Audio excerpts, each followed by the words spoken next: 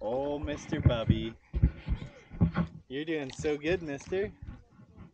Who's a cute little baby? Who's eight months today? You're eight months old, bud? Oh. Say hi.